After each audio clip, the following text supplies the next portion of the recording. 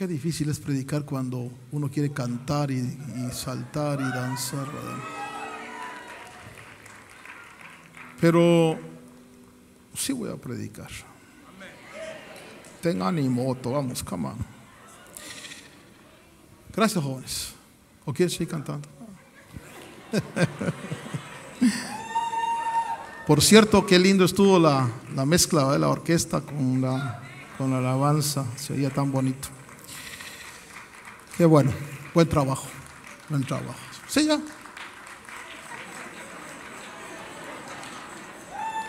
Hasta que no les hago así, no.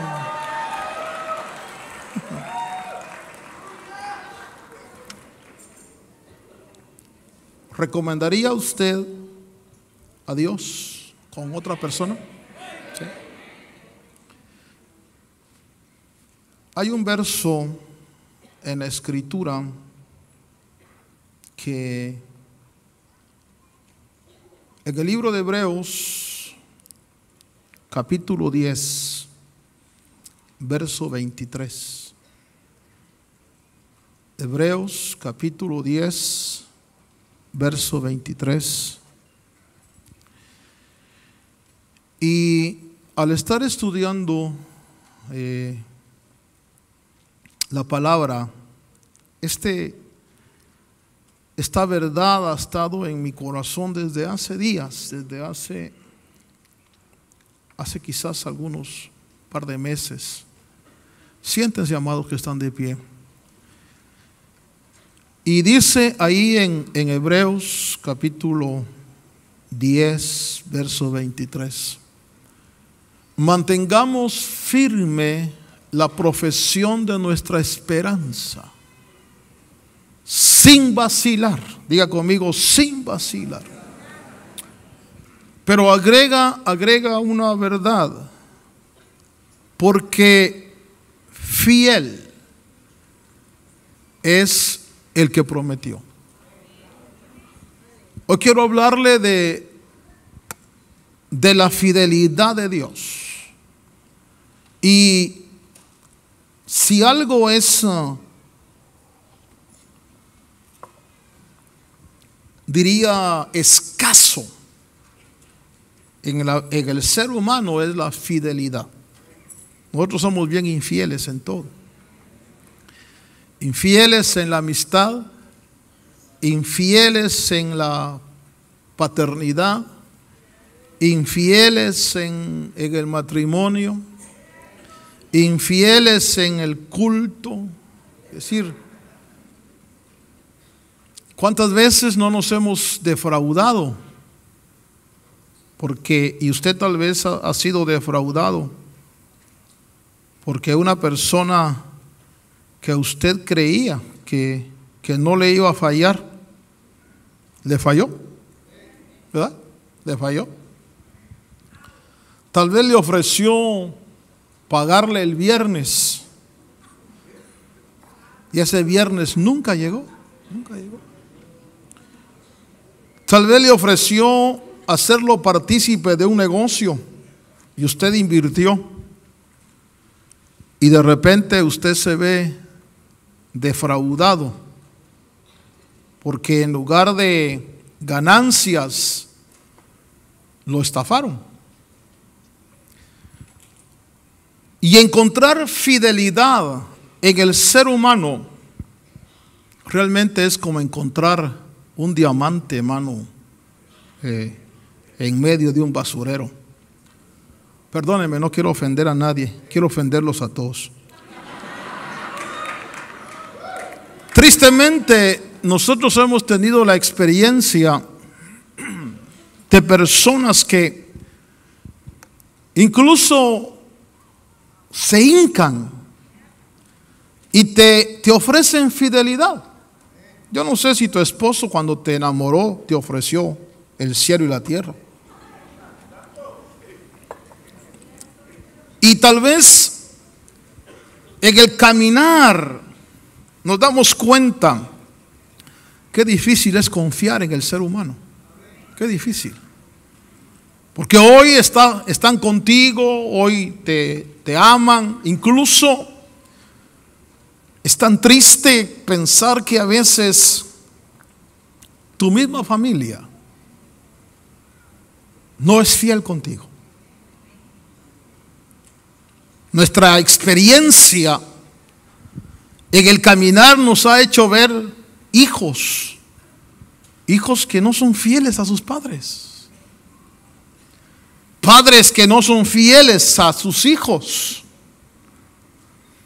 Pero cuando venimos a este Evangelio, tenemos que conocer a Dios. Y Deuteronomio capítulo 7, en el versículo 9 dice, conoce pues que Jehová tu Dios es Dios. Deuteronomio 7, 9 pero le da un nombre o le da una característica. El Dios fiel. Esa palabra fiel quiere decir firme, genuino, certero, veraz, digno de confianza. Si alguien es fiel, es Dios. Ahora, dice, conoce pues que Jehová tu Dios es Dios, Dios fiel, que guarda el pacto y la misericordia a los que le aman y guardan sus mandamientos hasta mil generaciones. Conoce. Lo primero que, que, debo de hacer es conocer a Dios. Y entonces me fui a estudiar en la palabra, porque quiero conocer a Dios. Yo, yo he estado en, en, a veces algunas pláticas, sobre todo consejería que a veces se da a, a las personas y a veces después de 10, 15, 20 años de casados, dicen, hermano, no lo conocía. Y el otro dice, yo tampoco la conocía. Yo digo, ¿cómo dos desconocidos aguantaron tantos años? Porque, porque a veces, hermano, no conocemos realmente a las personas. Pero Dios hace un llamado y, en el libro de, de, Jeremías me parece, él dice, no se gloríe el sabio en su sabiduría, ni el rico en su riqueza, ni el fuerte en su valor, sino en conocerme a entenderme. Entonces esta mañana yo quiero que usted conozca algo de su Dios. Y, y al conocerlo como es Él, usted tenga tranquilidad interior. Dios es fiel. Dígale al que está a su lado, Dios es fiel. La palabra que usa ahí el diccionario es amán, fiel, fidelidad, que se le repito, se puede traducir firme, genuino. Cuando, cuando alguien profetiza, cuando alguien da una visión, da una palabra y no se cumple, no fue Dios. No fue Dios. Fue la buena voluntad, como dijo una persona que quería profetizar un día y dijo, aprovechando el fin de año, dijo, pueblo mío, feliz Navidad y próspero año nuevo, dice el Señor. Solo faltó que dijera, jo, jo, jo, jo, jo, Dios es genuino, es certero. Certero quiere decir que, por ejemplo, cuando dice el Señor me mostró, usted dice, pero qué raro. Por ejemplo, a mí me han dicho, hermano, el Señor me lo mostró a usted orando a las 3 de la mañana. Digo yo, ese Señor es el diablo usted, porque yo a las 3 de la mañana siempre ronco. No es cierto, no es cierto. Pero hay gente que dice, no, es que mi espíritu está... No, no, Dios es certero. Dios es fiel, Dios es genuino, certero, veraz, es digno de confianza. Ahora, Pregúntele a que está a su lado cuánto le confías a Dios. Porque la fidelidad de Dios, Yo quiero conocerlo, conocerlo a Él. Saber cómo es Él. En qué lugar se enamoró de mí.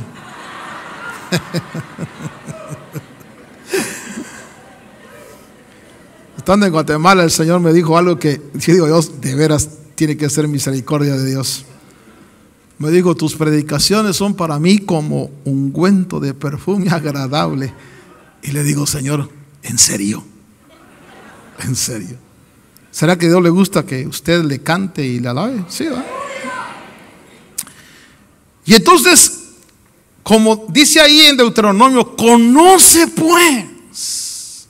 Por favor, y perdone que insista, métale un codazo que está solo diga, conoce a Dios. Conoce a Dios. Primero de Corintios capítulo 1, verso 9. Yo quiero este, este pasaje, para mí hermano, es un pasaje que me tuvo por rato investigando, buscando, porque de pronto vamos a ir al verso 5, 1 Corintios 1, 5 y luego vamos a ir al 9. No, verso 4, verso 3, perdón, 3. Vamos a comenzar del 3, hijos. 1 Corintios 1, 3. Gracia a vosotros y paz de parte de Dios nuestro Padre y del Señor Jesucristo. Verso 4.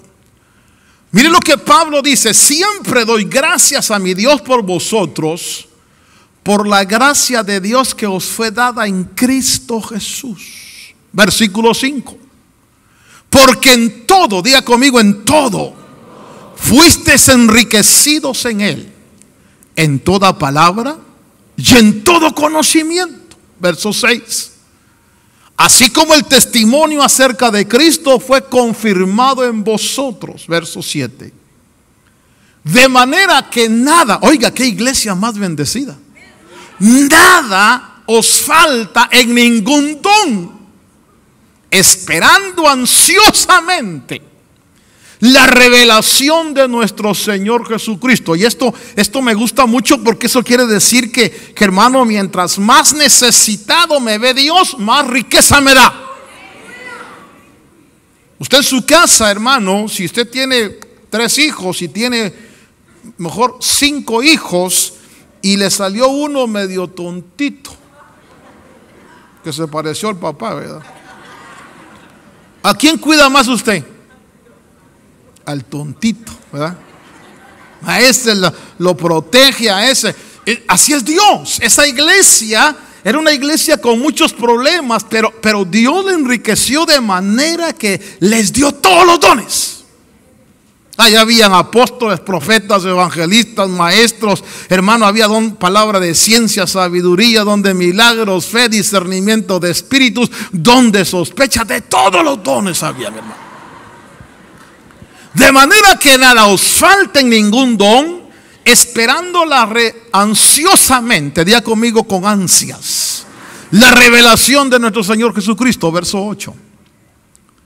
El cual, oiga, también os confirmará hasta el fin, para que seáis, ¿qué dice? ¿Quién es irreprensible? Es alguien que no se le puede condenar, acusar, o señalar nada. Y dice ahí Pablo, el cual también os confirmará hasta el fin para que seáis irreprensibles en el día de nuestro Señor Jesucristo. Diga conmigo, irreprensibilidad. Pregúntele a que está a su lado, ¿tú eres irreprensible? posiblemente, si somos honestos, bueno, estoy tratando de ser irreprensible.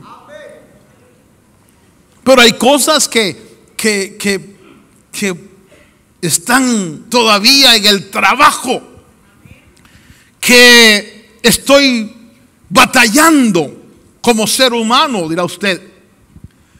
Pero me llama la atención que, que Pablo dice que, que, Él va a confirmar para que seamos irreprensibles. ¿Por qué? Porque Pablo dice, ustedes, lo voy a poner en un lenguaje popular, llano, ustedes la van a hacer.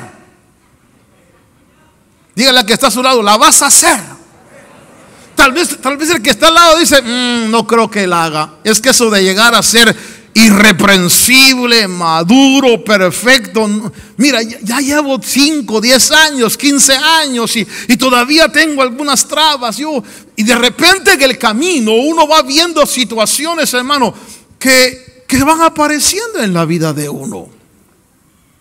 Por ejemplo, hermano, no es de extrañar que en un momento dado usted vea a Pedro y a Bernabé, tremendos varones de Dios, tremendos hombres de Dios, y sin embargo tenían un área que les daba problemas, la hipocresía.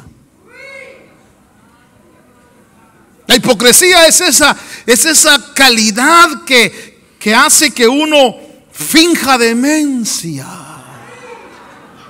¿Verdad? Usted ve que ahí viene la hermana que le cae mal y, y hermana de la ay, no la vi. Hipócrita, la vio. Lo que pasa es que se hacía loco, ¿verdad? Pero, pero ahí vemos a Bernabé y a, Pedro con ese conflicto.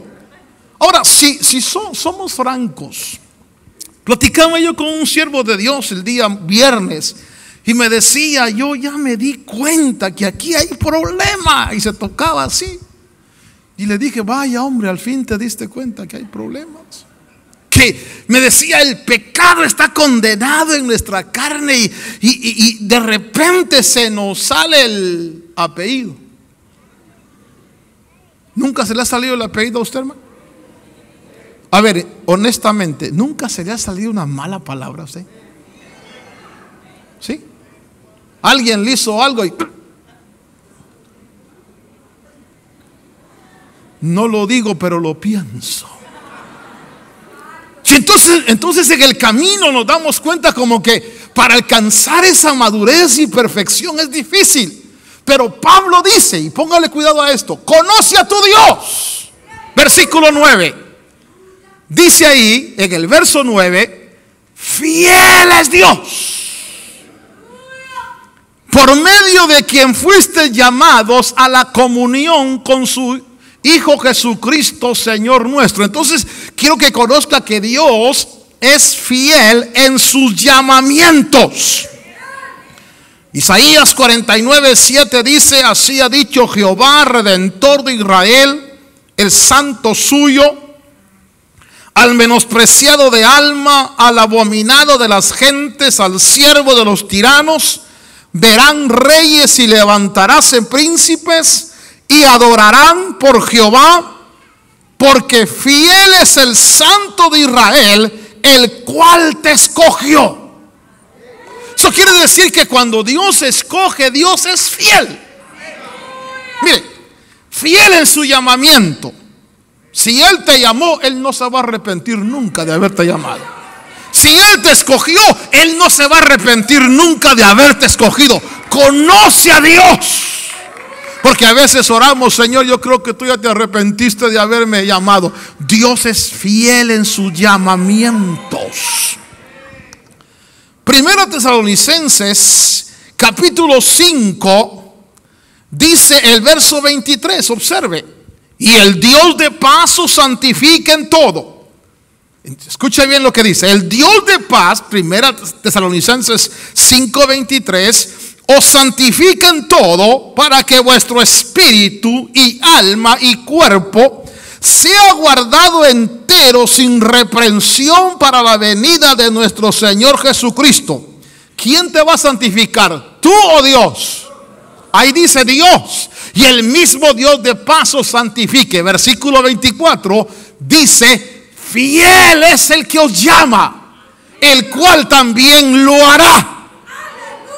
Conoce a Dios, Dios te va a completar, te va a santificar, te va a llevar a la medida, porque Él es fiel. Mire, usted no puede confiar en usted, hermano. Usted no puede confiar en sus fuerzas. Usted no puede confiar, digo, no es que yo, Pedro, un día, hermano, el Pedro ese haber sido de Sinaloa, hermano, porque llegó con Jesús y le dijo, mira, Señor, aunque todos se rajen, yo no. Yo no me sé rajar. Yo voy a estar contigo. Y Jesús le dijo, Pedro, Pedro, no, no, no, no está bien tu jactancia. No está bien tu, tu, tu manera de, de apreciarte. Estás valorándote equivocadamente. Debes reconocer que estás en una naturaleza que en un momento dado te puede hacer flaquear. Y Pedro dijo, ¿qué? Tú no sabes por este y mi santa madre que no. Y de repente usted ve a Pedro negando al Señor. Y blasfemando. Y diciendo, no conozco al hombre. Porque tuvo miedo. Y entonces cuando uno enfrenta la realidad que uno vive, en un momento dado llega a la mente, creo que no la voy a hacer. Creo que Dios me llamó, pero Dios me llamó para ser santo, pero creo que no lo voy a alcanzar. Dios me llamó para ser irreprensible, pero creo que no la voy a hacer. Regresemos al versículo 23, por favor, hijos. Dice ahí el verso 23, y el mismo Dios de paz dice, os santifique por completo, verso 23, un, un verso antes, hijos. Y que todo vuestro ser, yo quiero que usted tenga, tenga confianza esta mañana y diga, mi espíritu, mi alma y mi cuerpo será preservado irreprensible para la venida del Señor Jesucristo. A ver, si lo cree? Mire, pero óyeme bien, vamos a repetir, mi espíritu, mi alma y mi cuerpo será preservado irreprensible para la venida de nuestro Señor Jesucristo. Ahora le puede preguntar al que da, ah, ¿tan, tan fuerte te crees, tan poderoso te crees? Versículo 24. No, lo digo porque fiel es el que me llamó. Él lo va a hacer. ¿Me entiende? Él lo va a hacer. Mire, si Dios te llamó hermano, de esas manos no te escapas. Hay gente que se ha ido de la, de, la, iglesia, hay gente que se ha ido de la comunión.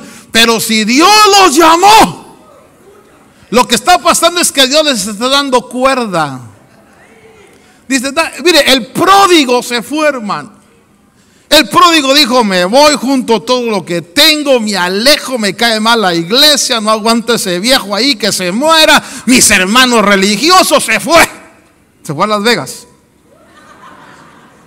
Allá en Las Vegas, hermano, una negrita aquí, una china aquí y una latina aquí. ¿Usted? Porque a eso fue. Y Dios dándole cuerda. Pero Dios lo había llamado.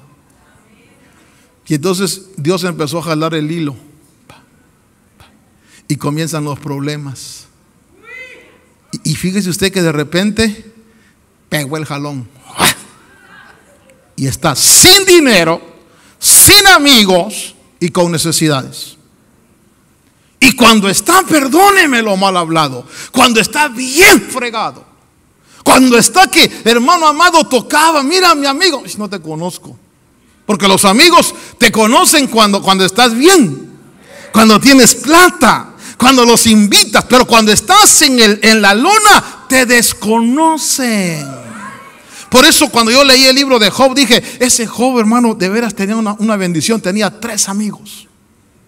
Tres amigos que cuando lo vieron en la desgracia, lo vieron hermano llagado, lo vieron empobrecido, no tenía nada Job. Fueron a sentarse con él siete días. ¿Sabe quiénes son tus amigos? Los que cuando te ven en necesidad están contigo. Pero los que están contigo solo cuando tú estás bien, esos no son amigos. Esos serán hijos de su madre, pero no son amigos. El amigo es aquel que cuando te ven problemado te dice, aquí estoy contigo. El amigo es aquel que dice, mira, lo que hay contigo hay conmigo. O sea que si nos van a barrer, nos barren a los dos. Yo recuerdo, hermano, yo tengo, yo tengo, yo crecí con unos primos que son como mis hermanos. Y uno de ellos es de mi exacta edad, somos, estamos juntos aquí. Y un día yo estaba jugando básquetbol, tenía yo 12 añitos, usted, 12 años tenía yo. Yo estaba jugando básquetbol con, un, con uno más grande que yo y se enojó conmigo, hermano. Y entonces me empezó a pegar. Y cuando me empezó a pegar, mi primo fue a agarrar una escoba, hermano, y le mete el escobazo en la espalda a ese hermano. Y cuando sintió el escobazo, le quitó la escoba y nos escobió a los dos, hermano. Después él lloraba y yo lloraba, hermano. Y estábamos sentados ahí los dos, fíjese, y entonces, entonces le dije, deja de llorar. ¿Para qué te metes? Le dije, ya viste, a los dos nos dieron. Sí, pero que te estaba pegando. Pero ¿para qué te metes? Es que sos mi hermano. Qué lindo cuando uno tiene gente así, ¿va? Qué lindo cuando alguien le dice, mira, yo estoy contigo en las buenas o en las malas, estés bien o estés mal, aquí está mi hombro, yo estoy contigo. Pero, pero ¿dónde hay de esos? Diga conmigo solo en el 12.145 de la Goodruff. Dice ahí, hermano, que el Señor va a santificarme por completo porque Él es fiel. Entonces yo quiero que conozca que Dios es fiel en su llamamiento. Dígale que estás lado, si te llamó Dios, te rayaste. No te va a soltar. No, pero es que ya no quiero nada con Dios, yo mejor me voy al mundo. Go ahead. Prueba. Al rato vas a venir, hermanos. Oren por mí, oren por mí. La llorona me está persiguiendo. ¿Cuántas, ¿Cuántas veces no he visto yo, hermanos cristianos, que después de 5 o 10 años de haberse pegado la rebelión, ahí vienen, hermano, ahí vienen. Apestoso sacerdo, como el hijo pródigo. Sin embargo, cuando el hijo pródigo venía, mire, fiel es Dios, el padre salió, lo vio, lo abrazó, dijo, este es mi hijo, porque Dios es fiel en su llamamiento. Conoce a tu Dios, Él es fiel en los llamamientos. También Dios dice en Primera de Corintios capítulo 10 verso 13, no os ha tomado tentación sino humana. Qué, qué terrible cuando uno está siendo tentado, hermano. Usted tiene hambre, hermano. Ya no aguanta el hambre. Y de repente ve por ahí una tortilla con, con queso y no es suya, hermano. Y, y usted... Y qué terrible es tener hambre. Es como, perdóneme, perdóneme es como, es como cuando las hormonas están hermano, y, el, pobre hombre está que, hermano, que terrible. Y, ve una, una mujer feyecita, hermano, fea, fea, pero la ve tan hermosa. Esas no hay aquí, esas no han venido. Esas no son de llamada final. Por eso en cierta oportunidad una hermana llegó a quejarse y me dijo, hermano, me dijo, ese es mi marido. A veces se levanta, hola mi amor, ¿cómo amaneciste? ¿Quieres ir a, cenar conmigo? Ah, ya sé lo que quiere el desgraciado. Solo cuando quiere es cariñoso, me dijo. Y yo, yo le vi la cara al otro cariñoso y me dijo, pues ni modo, hermano. ¿Por qué digo esto, Dios mío? Porque cuando uno tiene hambre, cuando uno está pobre, cuando uno está emproblemado y la tentación se presenta, uh, hermano, y uno está, lo hago, no lo hago, miento, no miento, eh, se la miento, ¿qué hago? Terrible estar en, estar en la tentación, ¿va? Y fíjese lo que la Biblia dice. No os ha sobrevenido ninguna tentación que no sea común a los hombres. Dígale que está a su lado, no te hagas, si a todos nos tienta eso. Todos. El otro día me dijo una hermana, hermano, me dijo, ese es mi marido. Y si no sé por qué le gustan las mujeres. Le dije, porque es hombre. Peor que le gustaran los hombres. Ah, si a tu marido le gustan las mujeres, es normal, es hombre. A las mujeres le gustan los hombres.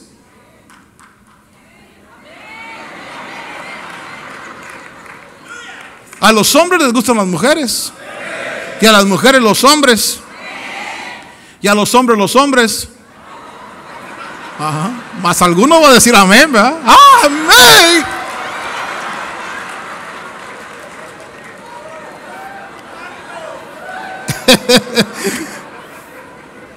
en una iglesia dijo, dijo el pastor, los hombres se sientan de este lado y las mujeres de este lado. Y alguien dijo, ¿yo dónde? Dijo.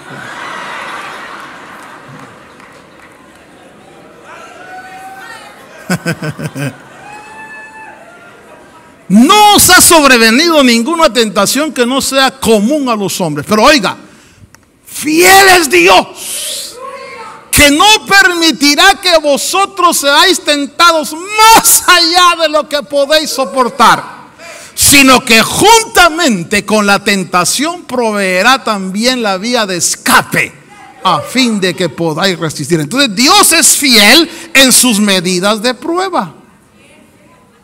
No diga, ay, es que esta prueba si no la aguanto. La aguantas.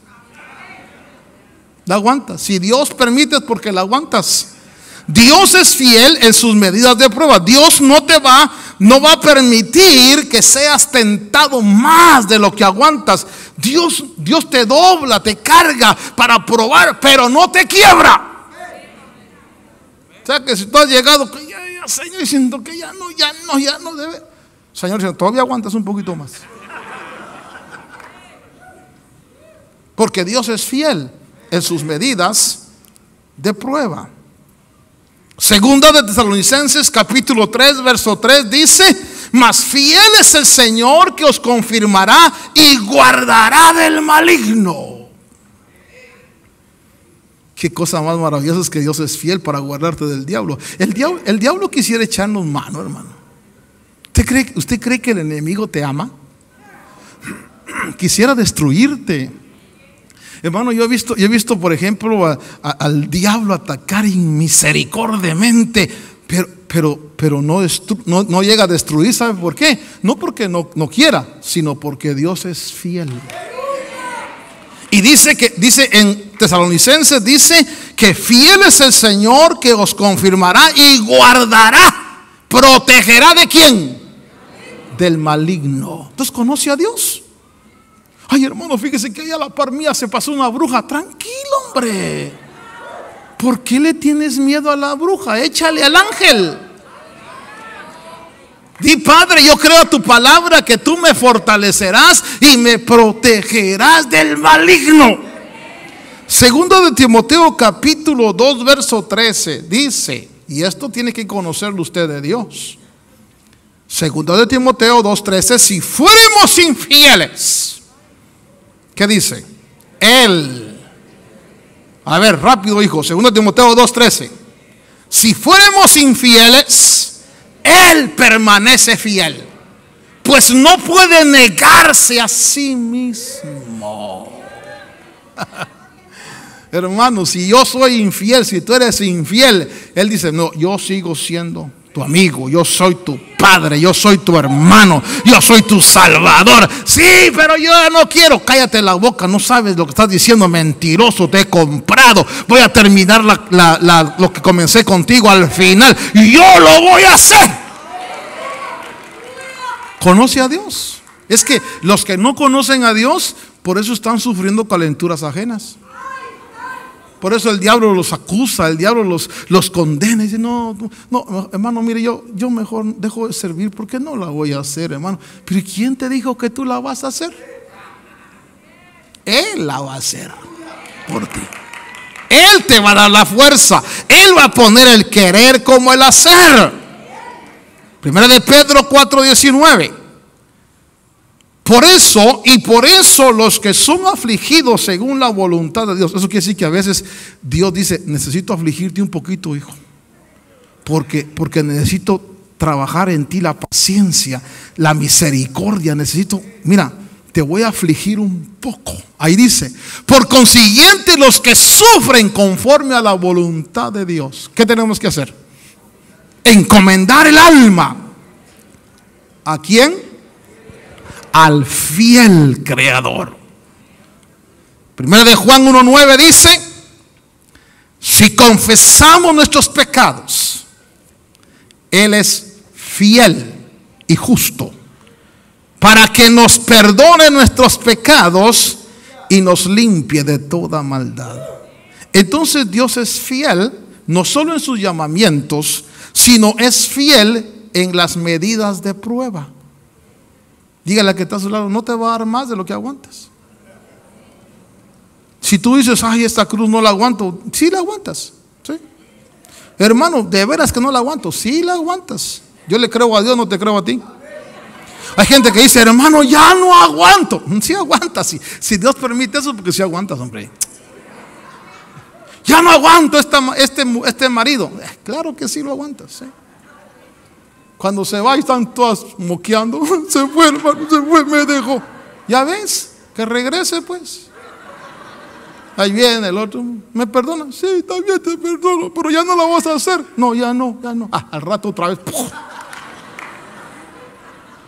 Hermano, ya no lo aguanto, hermano. De veras, ya no. Sí lo aguantas. Si Dios te lo, te, lo puso ahí, dígale que está a su lado, ten ánimo. Lo aguantas. Dios es fiel en su llamamiento. Dios es fiel en las medidas de prueba. Pero oiga esto, y con esto cierro.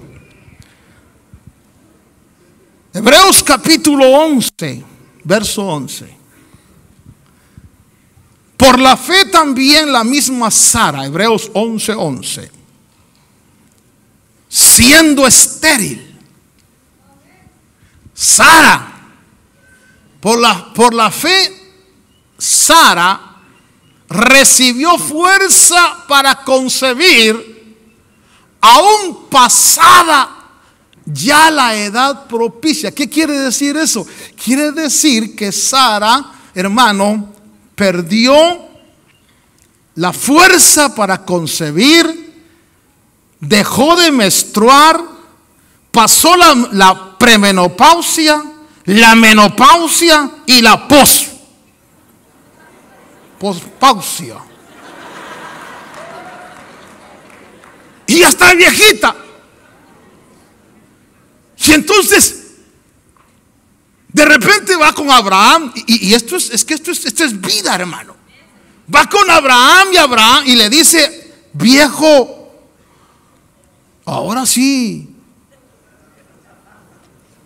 la promesa de Dios va a ser difícil. Porque ya no tengo menstruación. Y, Abraham le dijo, ay viejita, le dijo, ¿y yo? Y yo solo te miro y suspiro por los años pasados, le digo, porque ¿quién me diera? ¿Y qué hacemos? Mire, ¿cuántos de aquí tenemos promesas de Dios? ¿Por qué será que a Dios se le ocurre cumplirlas cuando ya estamos viejos? ¿Por qué será que a Dios se le ocurre? Mi hermano, ahí está uno hora y hora y hora y hora y hora y nada. De repente Zacarías llega, hermano, ya viejo. Llega, hermano, a ministrar. Le tocó en turno ministrar. Y cuando está ofreciendo el incienso, se aparece Gabriel. Y le dice, Zacarías, tu oración ha sido contestada. Y Zacarías se queda, el correo va a estar malísimo porque yo comencé a orar como 20, 30 años atrás. ¿No tienen UPS allá en el cielo?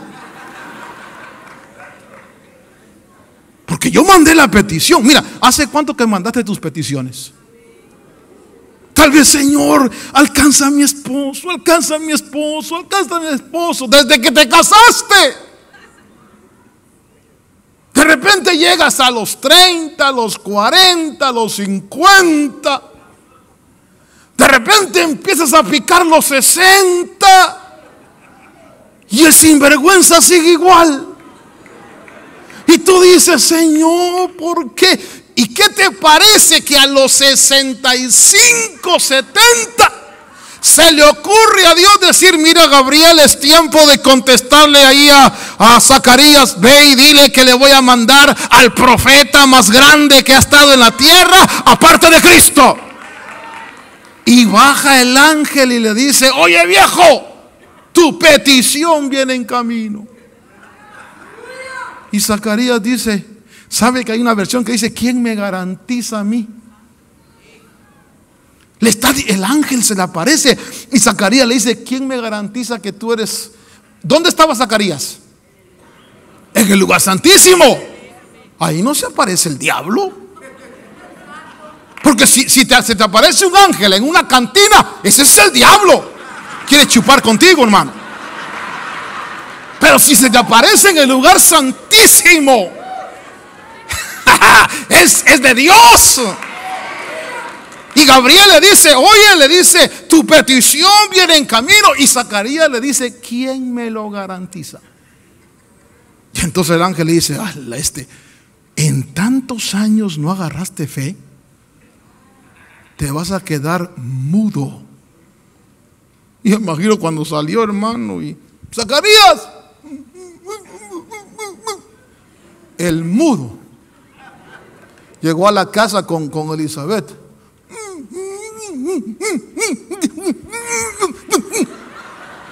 Y Chabelita le dijo, este mudo, ¿qué quiere decir?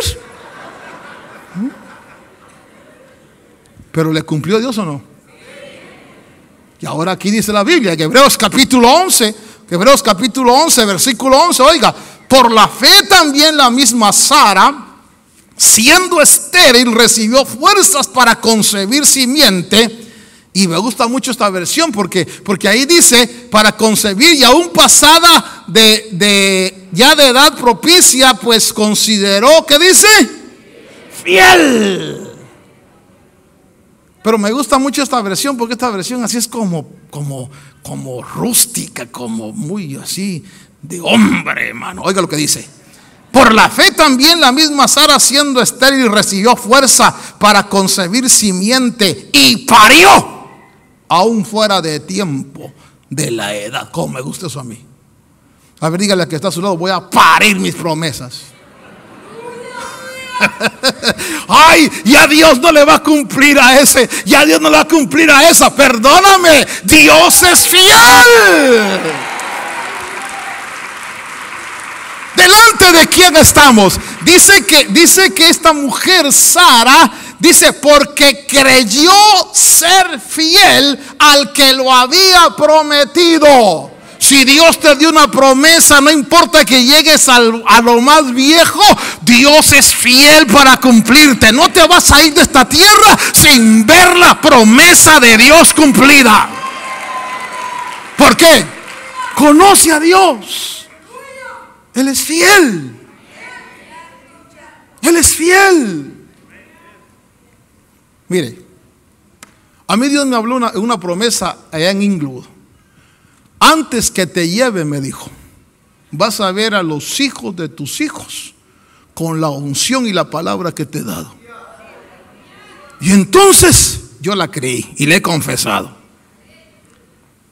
Hace unos meses y medio yo le conté.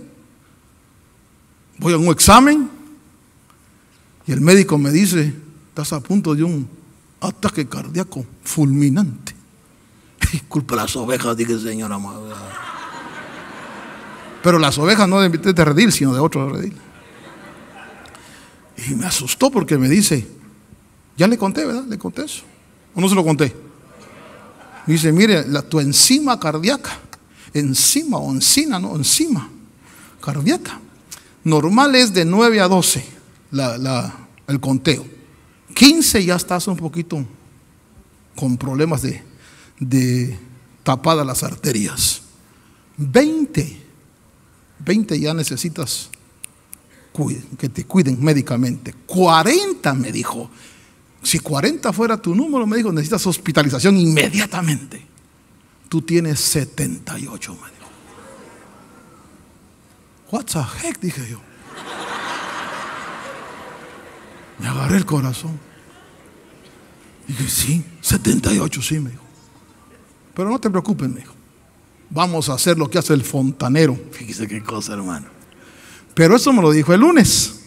Pero el domingo en la tarde llegó un americano, un profeta americano aquí conmigo. Fue conmigo, hermano. Se sentó en mi oficina. Y entonces me dice, tengo una palabra para ti, pastor. Y entonces me dijo, te doy vida porque quiero que sigas predicando. Te llevo a una nueva dimensión donde tus ojos van a ver cosas que nunca han visto. Te doy vida. Yo dije, ¿por qué me estará diciendo que me da vida? qué si esto se quería parar?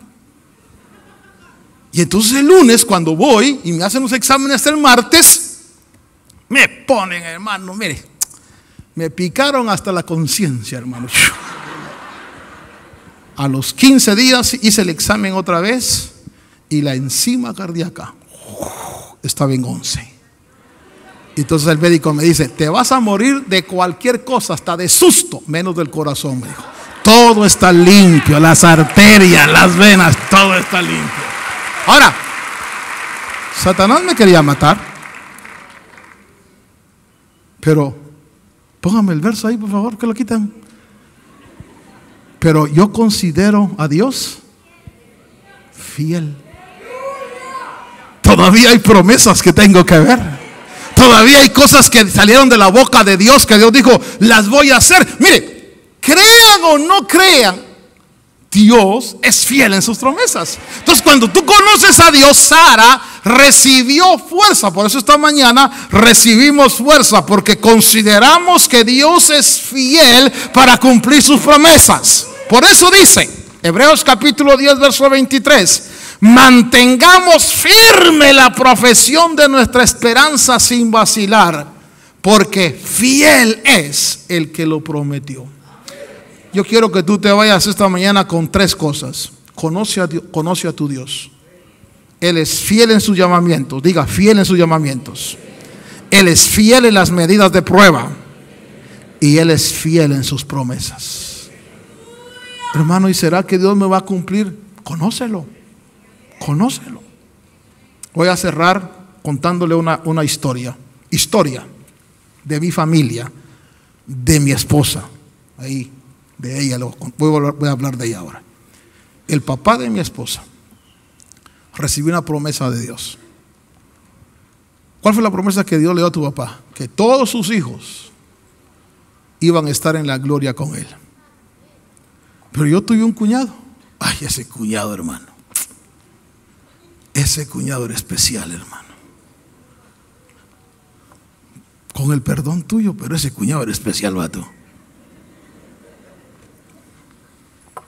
Le gustaba. Y era bien noble, fíjese, bien noble, sí, bien noble. Y siempre me hablaba de una su moto que tenía que había sido de Hitler, hermano. No sé por qué me decía, mira, la moto que de Hitler. Ay, yo le decía así, pero le gustaba. Mire. Nomás le caía algo y...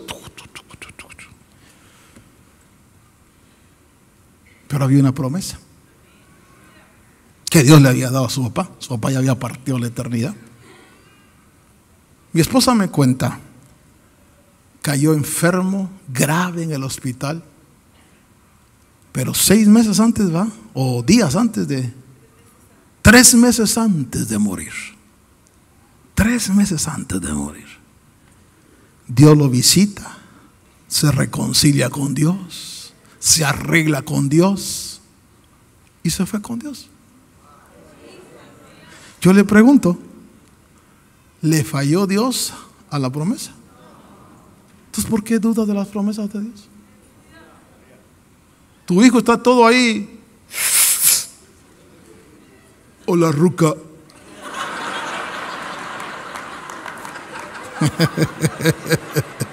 y tú dices, ay Señor, y, tú me dijiste, cree en el Señor Jesucristo y serás salvo tú y tu casa. Dios es fiel para cumplir sus promesas. Conoce a Dios. Fiel en sus llamamientos, fiel en las medidas de prueba y fiel en sus promesas. ¿Qué tenemos que hacer? Mantener firme nuestra vocación en Dios. Póngase de pie un segundito. Quiero que levante su mano y le diga, Padre Dios, Gracias por ser fiel. Gracias por ser así conmigo. Porque yo sé que tú vas a cumplir, me has llamado. Lo que me pase sé que es una medida que aguanto y sé que vas a cumplir tus promesas. Déjeme hacer una invitación nada más antes de irnos. Si alguien en medio nuestro no conoce a ese Dios, esta mañana tú puedes entregarle tu corazón. Y puedes conocer a ese Dios maravilloso que es fiel, que es veraz, que es digno, íntegro, digno de confianza. Si en medio nuestro por primera vez alguien quisiera recibir a Jesucristo como su Señor, a mí me gustaría orar por usted. ¿Qué le pido? Que salga de su lugar y venga aquí al frente y le diga, Dios, yo quiero conocerte, yo te entrego mi corazón, sé que no te conozco, he estado lejos de ti, pero yo quiero conocer ese Dios fiel, ese Dios de la Biblia, ese Dios que está ahí, yo te recibo en mi corazón. Dios te bendiga. ¿Quieres aceptar al Señor? Qué bueno, acércate aquí. ¿Alguien más quiere venir a los pies de Cristo? ¿Alguien más siente que Dios le está llamando y quiere venir a Jesús allá arriba? Quizás por primera vez Dios te, Dios te esté tocando el corazón y tú quieras recibirlo. Este es un momento.